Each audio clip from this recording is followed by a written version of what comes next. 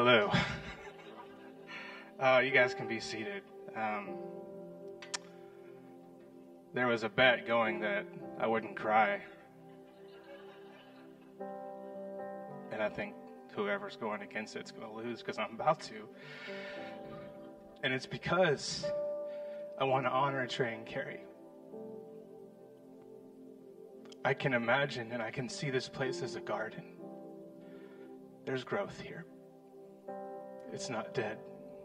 It's not a desert. It's not isolated. There's growth, and there's almost almost like individual gardens where you you're helping us see the things inside of us, but you're also helping us to be keepers of the garden. And so I want to thank you for teaching and for leading, for all the sweat and all the hours that you pour into people to help them keep this garden. It's flourishing. So thank you. Let's give it up for our pastors.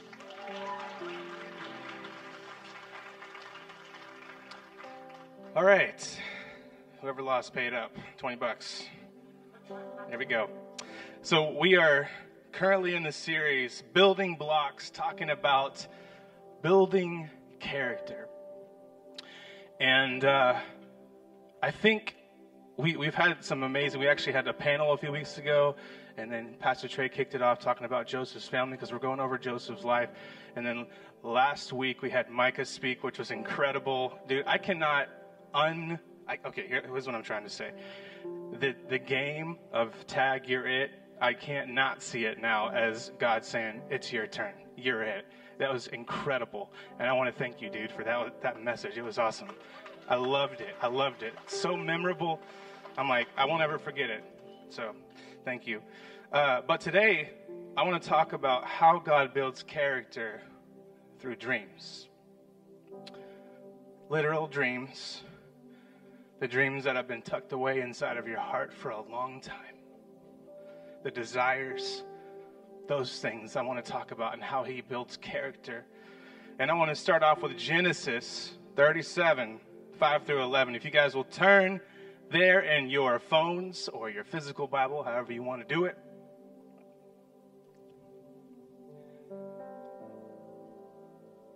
One night, Joseph had a dream. And when he told his brothers about it, they hated him more than ever. This is starting off pretty good, y'all. Listen to this dream, he said. We were out in the field tying up bundles of grain. Suddenly, my bundle stood up, and your bundles all gathered around and bowed low before mine. His brothers responded, So you think you will be our king, do you? Do you actually think you will reign over us? And they hated him all the more because of his dreams and the way that he talked about them.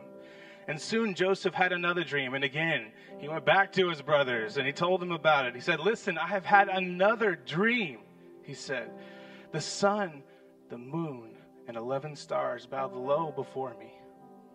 Now, this time, he told it to his fathers, and he t- his fathers, his father and his brothers. And his father scolded him, and he said, What kind of dream is that? What kind of dream is that? Will your mother and I and your brothers actually come and bow before you to the ground? And while his brothers were jealous of him, of Joseph, his brother, his father wondered what the dreams meant. How many know you can be jealous or you can wonder?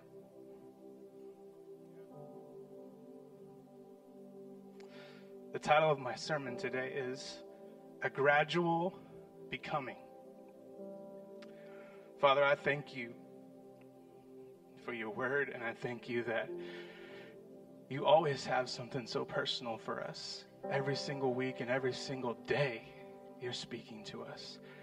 Today is no different. God, I thank you that there is clarity in Jesus' name. Where there is fog, it's dissipating, and we can see clear. We can see where you're leading us. And I thank you, Lord, that this word is going to be with us. Your word is going to be with us, not just today, but tomorrow and the next and the next. In Jesus' name. Amen. Has anyone ever said or prayed, God, build my character.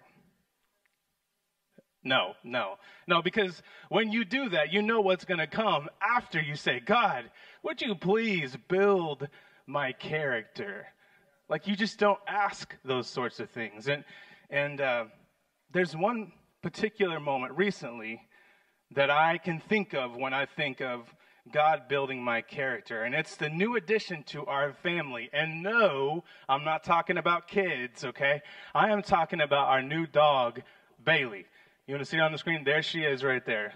She is so cute. She's a little mix of heaven and hell at the same time. She, oh man, she's, God has used her in many ways to build my character. And uh, she's a cavapoo, if you don't know what that is. It looks like a stuffed animal. She's just chilling right there on the couch with her legs off. She's got a really chill personality. Okay, cavapoos are a mix of a poodle and a King Charles Cavalier. All right, so King Charles Cavalier, if you don't know, that's the, the lady and lady and the tramp. Okay, so those two dogs together is Bailey. Well, that was Bailey. And so they're very, very friendly because we were looking for a dog that was going to be a family dog that wasn't going to bark at other dogs and other people.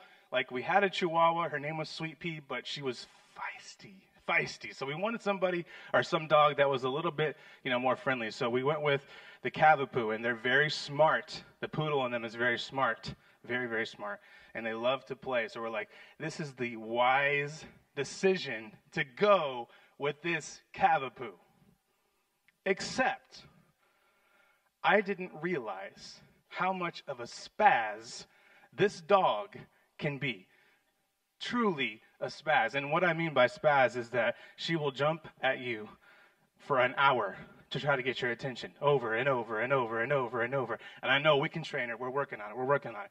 But I'm talking about her personality. She is just crazy you don't read about the, the bad things. You're only looking for the good things, right? This is the good things that I want. I want somebody that, or a, I keep saying somebody, a dog that is just pet friendly. A dog that's pet friendly. A dog that is family friendly, that loves people. Y'all, this dog, if dogs, and I think dogs are, extrovert and introvert, this dog is an extrovert. She has to be around people constantly. She is strengthened by being around people. And so, you know, I just, I'm not used to that. Like, give me some space, please. And then we have the puppy phase that I just totally forgot about.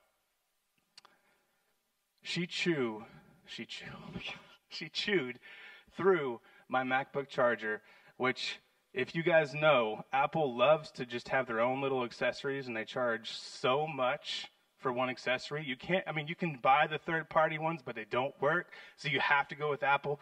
Amazing little strategy right there. But they, they just charge you so much money 80 bucks for me to replace my MacBook charger that my dog chewed through. And I guess it's, it's not her fault, I guess, for, for me to leave out the charger and just not expect, or expect her just to leave it alone. But I, I, I'm still working through that right now, building my character. So God is, indeed, He is definitely building my character, even with this dog, because He wants me to become more like Jesus. Has anyone heard the phrase, we're moving from glory to glory? Yeah? I've heard it for a long time, and I never really understood what it meant. And every time that I hear it, even to this day, I only, and I don't know why I think about this, but I only think about frogs jumping on lily pads from glory to glory to glory. That's what I get in my head. it's just weird. I don't know why I think that. But we're actually going to talk about what it means, and we're not going to talk about lily pads here. So I want to take you to 2 Corinthians 3 17 and 18 real quick, just to highlight, and I'm going somewhere. Just stay with me. We are going to get to dreams, okay? Now, the Lord is the Spirit, and where the Spirit of the Lord is, there is freedom. And we all, with unveiled face, beholding the glory of the Lord, are being transformed into the same image from one degree of glory to another. For this comes from the Lord, who is the Spirit. Every degree or level of glory, we are being transformed. We are being changed into what? Into becoming more like Jesus. When we move from glory to glory, we're becoming more like Jesus. And I really, really like how the message put this. Um, it says, Whenever, though, they turn to the face God as Moses did, God removes the veil, and there they are, face to face. They suddenly recognize that God is a living personal presence, not a piece of chiseled stone. And when God is personally present, a living spirit, that old constricting legislation is recognized as obsolete. We're free of it. All of us, nothing between us and God. Our face is shining with the brightness of His face. And here's what I want to point out. And so we are transfigured, much like the Messiah, our lives gradually becoming brighter and more beautiful as God enters our lives and we become more like Him. I really, really like how they put gradually becoming. How many know that this life is a gradual becoming of more like Jesus? It's a slow, slow, slow, slow process. Sometimes there's instant change, instant healing, all that. But for the majority of the part, the majority of it, it's just a slow, gradual becoming more like Jesus. The story of Joseph it was a gradual becoming. The dude, he went through a lot. And his journey, it started at 17 years old. And then he, he wasn't in charge of all of Egypt until 30. So 13, that 13? 13 years of moving from glory to glory to glory. I want to tell you right now that your, your entire life is a gradual becoming of who God created you to be. Okay? And the truth is, this is my first point right here. God cares more about who you become than what you accomplish. God cares more about who you become than what you accomplish. John Ruskin, he said that the highest reward for one's toil is not what he gets for it, but what he becomes by it. And I'm like, don't get me wrong. God is is interested in every facet of your life. He loves you. He is a father. Just like I love it when my kids achieve something and succeed. I think it's amazing. But He is more interested in what's happening inside of you when you make that achievement than the actual achievement itself. He cares more about who you become than what you accomplish. Because every time that there's there's growth inside of you, that's the moving from glory to glory to glory to glory. Which kind of leads me to how does God make us more like Him? And this is where building our character comes in. He makes us more like Him by building our character, by growing the character inside of us. And the Bible says that the fruit of the Spirit is the evidence of His presence within us. And if you notice, the fruit of the Spirit is not achievements and accolades, it's characteristics. It's love, joy, peace, kindness, gentleness, right? That's what God is interested in. He's growing that inside of us. So God desires that we become more like Jesus, and we become more like Jesus by building our character. So the question is how does God build our character? It's through adventures. Adventures with God. God builds character through adventures with Him. And adventures are the moments in life where you start one way and you end up a different way, where you think one way and then by the end of it, you think a different way. Every adventure with God is a chiseling to help you become more of who created you to be. And and you become more you when you become more like him. For the longest time, I just thought if I if I become more like Jesus and we all become more like Jesus, are we all going to be the same? Like is that how it works? And the truth is, is that as you become more like Jesus, the Bible says that that you know in Matthew 5:14 it is, I think here's another way to put it. You're here to be bringing out you're here to be light, bringing out the God colors in the world. Every one of us has a, a God color, a shade of God that you carry And as you become more like Him, your color begins to reveal itself even more and more and becomes more unique as you become like Jesus. So God, He builds character through adventures. Anyone like adventures? No? We got a few people who like adventures. All right. And I want us to think about it real quick when it comes to adventures. Like all the timeless stories that you can think of, they, they start one way and, and then they end up a different way. Think of uh, A Christmas Carol, right? That story is still being told. Ebenezer Scrooge, right? Is Ebenezer Scrooge, right? He, he is so grumpy so just ungrateful at the beginning of the movie or at the beginning of the story and by the end of it he is generous he is grateful. And then we have um, let's see oh how the grinch stole christmas. Classic right? He is a who himself who hates who's. Does that remind you of somebody? Paul? Yeah? No? He hated who's and by the end of the movie he just his heart grew three sizes and he loved. And then I think about Chronicles of Narnia, where they just thought of themselves as children. But then at the end of the movie, as they walk through the door into the new world, they realize actually they are princesses and queens and kings destined to rule the land, right?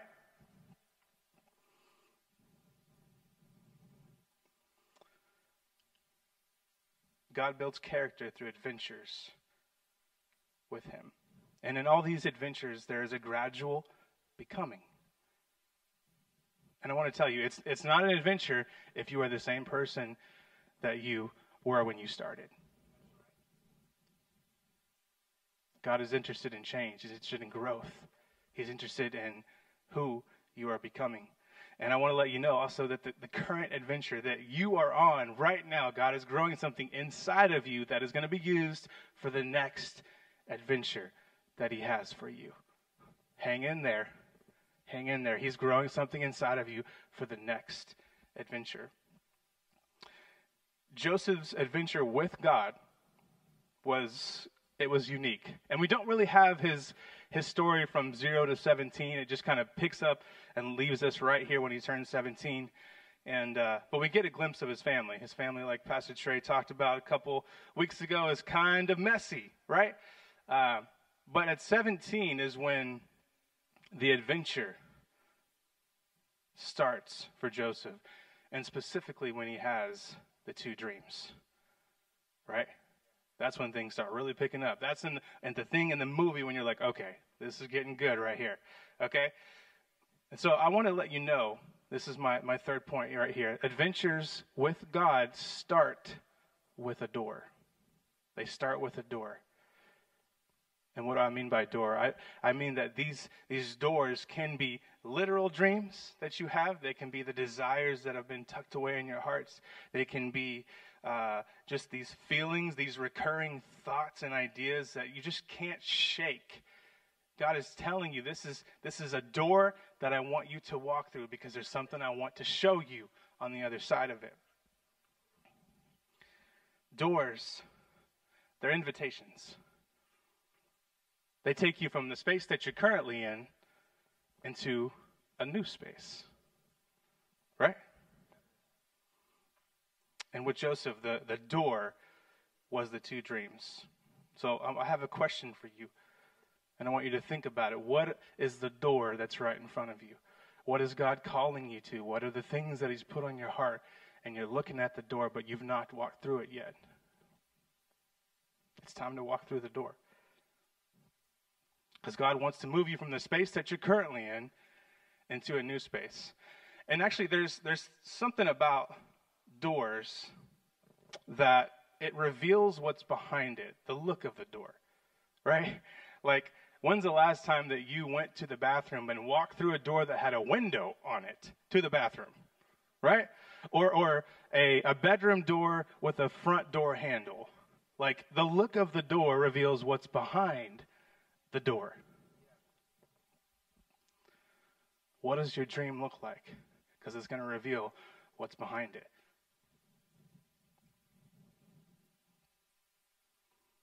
There are some doors that will lead us into the same house, right? if I'm going from the living room into my master bedroom. I'm going from my kitchen into the living room, that doorway right there, it's in the same space. But there's other doors that lead you out of the house into a completely new territory where God is wanting to do something inside of you. And those moments you want to pay attention to. Those are the moments with Joseph right here where he realized, okay, this is a brand new space. Because if we look at the at the dream that he had and in his response, uh, the brother's response, it showed that the reality that he was in right now was not the same as the dream that he had. That was the door saying, you know what, this is a door, this is a front door moment right here where I'm going to walk through and it's going to be a completely new experience, a completely new territory. I've not been here before. This is new. This is a new space. But it's time to walk through the door. With, with Joseph, he had that dream. The reality didn't match the dream. So there was a gap. And there's growth in the gap. There's tons of growth in the gap. So don't be afraid when there's a gap. The bigger the gap, the more opportunity ha- that God has to grow something inside of you. God is not calling you to a place where you're not going to change. If you're not changing, it's time to find a different door. The types of doors that invite you into adventures with God are those where you're moving into an entirely new space. So, what is the door in front of you? What does it look like? Is it going outside to a whole new world where the birds are chirping and the whole neighborhood is there? You can pick another door into another house, or is it the same house but just a different door?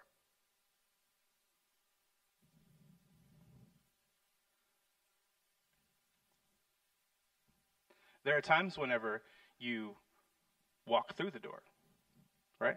You're, you've walked through the door and you've made that decision, and then when you walk through the door, you realize, okay, the adventure has started, but this is not what I imagined.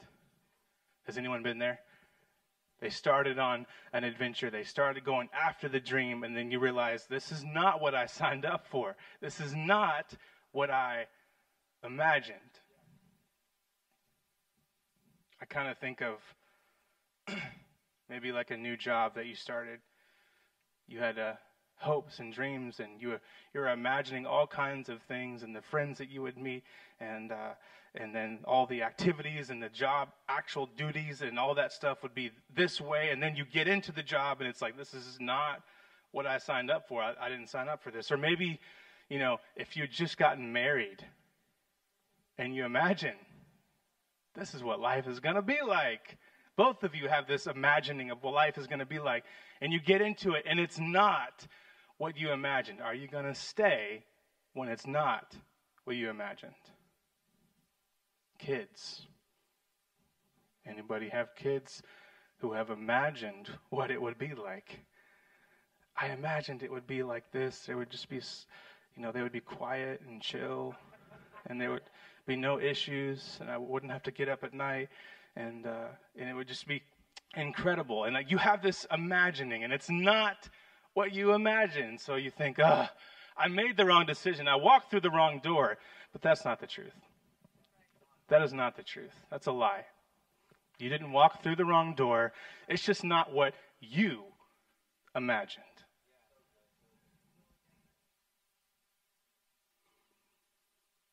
Joseph, his dad gave him a cool coat at the beginning of that story. Y'all remember that? The robe.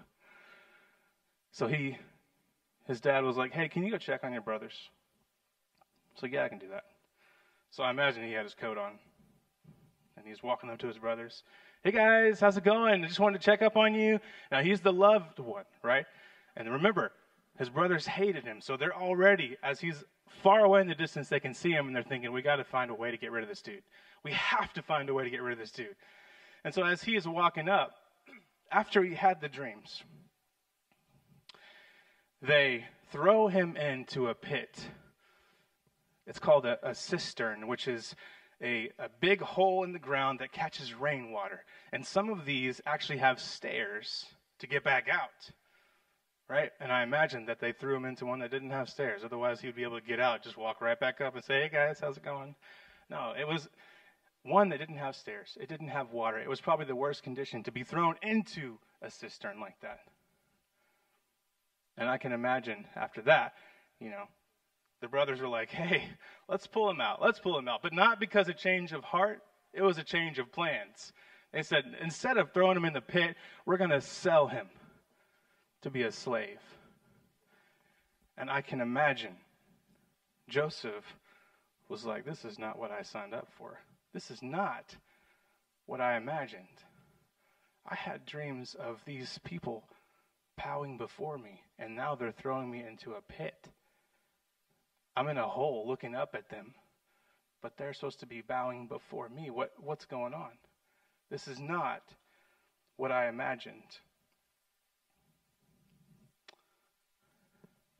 I want to pause for a moment because that statement that can be tricky. This is not what I imagined.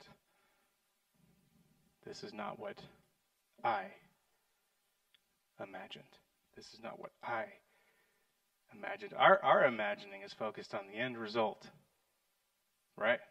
We're focused on what's going to happen at the end. We don't ever imagine the process.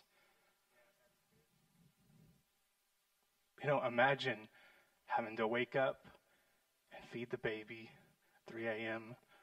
when you're exhausted. We don't imagine having to go back to work the next day when you're so tired. You don't imagine that. You just imagine the end result of a happy baby and a happy life. It's all gravy, but that's not what we imagine. We have to be careful when we say it's not what I imagined.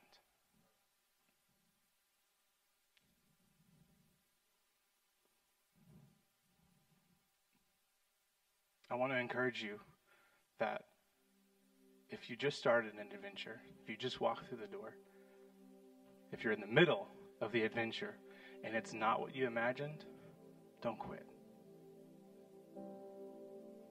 Don't give up.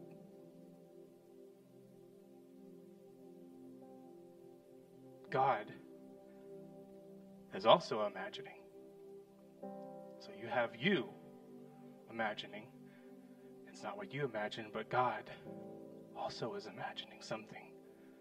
And the thing that He has imagined is far beyond what we can think, but it's going to grow something inside of you because His imagining will be your awakening to a greater purpose that you could have never thought of. So stay with His imagining. God, what are you imagining for me in this season, in this adventure? Not what am I imagining? What are you imagining? Joseph, he, he started in a pit, and then 13 years later was leading a whole nation through a famine.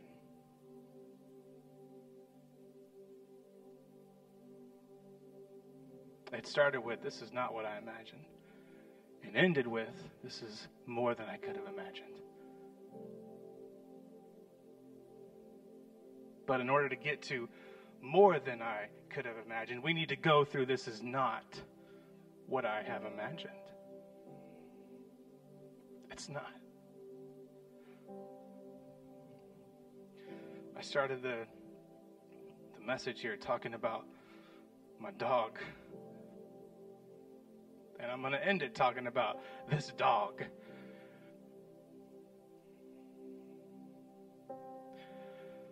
I was working in my room. I, I work from home, and my office is in my bedroom. And I have a little setup where I, I have my desk facing the window so I can see out whenever I need to look out in the backyard. So my back is facing the bed.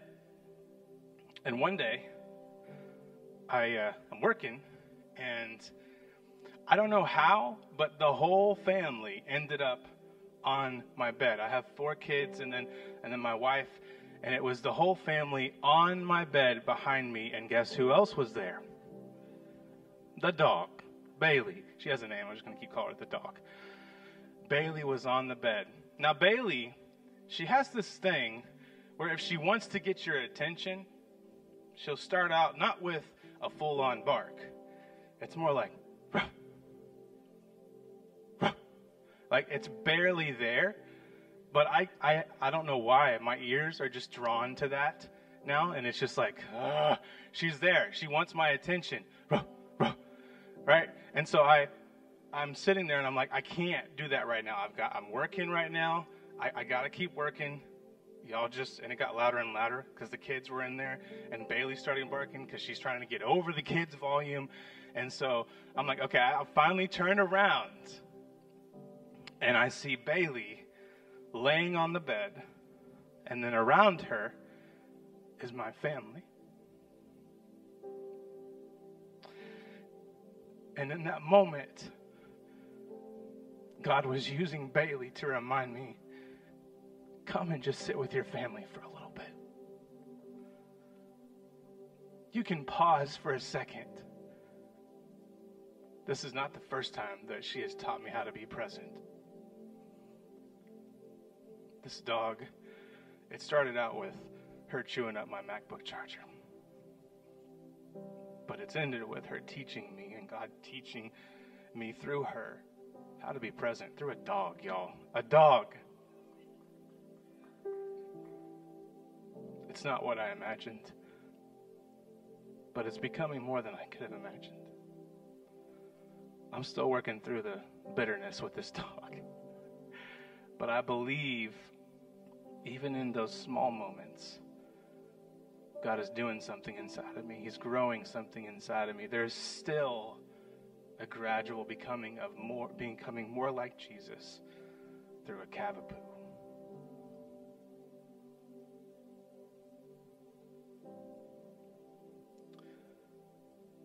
There is a door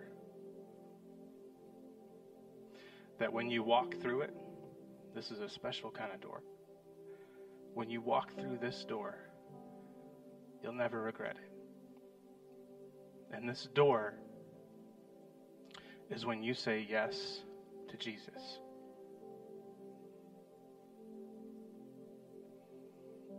I remember walking through that door, and I had hesitations and doubts. But I said, you know what? I'm ready for an adventure, God.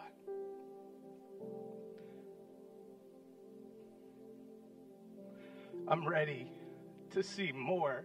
I know there's more than this life that I'm living right now. I know there's more.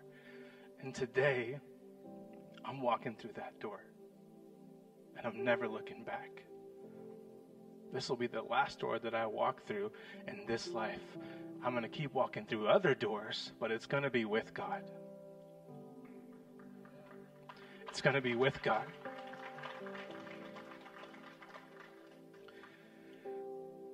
Today, I want to invite you to that same door.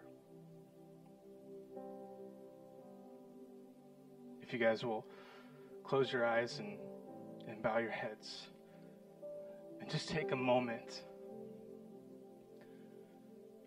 We talked about how God wants us to become like Him.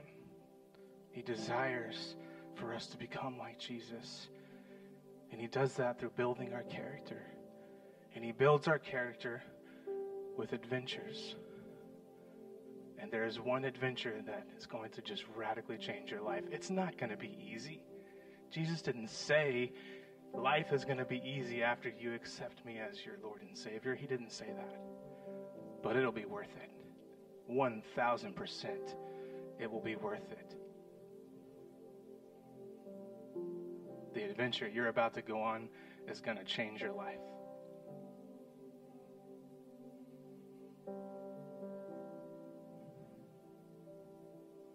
If you've been feeling that that desire that you know what I think I think there's more to life than what I'm experiencing right now. I think God has a different plan and maybe you've disregarded it for a while, but now that voice, that feeling, that thought, that desire is becoming louder and louder and louder. And now it's to the point where I just, I can't shake it. I've got to go through the door because I know this adventure is going to be wild and it's going to be amazing. If you are ready to walk through the door and say yes to Jesus, to say yes to the adventure, will you slip up your hand for me? Yes. Thank you for those hands. Thank you. Thank you for your courage. You will not regret this. I promise you, you will not regret going through the door. As you turn that doorknob, you're going to experience something that you've never experienced before. Jesus is going to be with you now, from until now until the end of time. He is going to be with you every single step of the way on every adventure, because there's going to be more adventures, there's going to be more doors. Church, if you will repeat after me, Jesus, I know that I've messed up. I know that I am a sinner. But today, I'm walking through that door. I'm choosing you, Jesus. I accept you as my Savior. I believe that you died on the cross, that you rose from the grave, that you love me, that you are for me, and that this adventure is going to be the most amazing adventure. I'm ready. In Jesus' name, amen. Amen. Let's give it up for the people that gave their life to Jesus. Heaven is going wild, so we should go wild too. I am so excited. I, am very excited about the people that just gave their life to Jesus. And those of you online, if you just gave your life to Jesus, we have a next step for you. That is a QR code on the screen, and we'll drop a link in the chat for you guys. This is resources for you to start growing on your journey with Jesus and with this adventure. All right, so you guys, thank you so much for coming out. I'm so glad that you gave your life to Jesus. Go and be the church.